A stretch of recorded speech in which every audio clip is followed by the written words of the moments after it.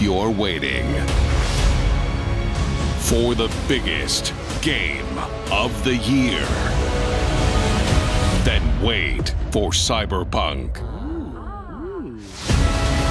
But if you're ready for the smallest, we've got you covered.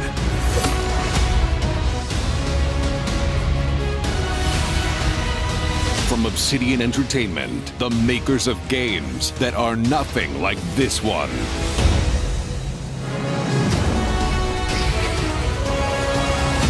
This summer, strive together to thrive together. Or just feed your friend to the spiders and go solo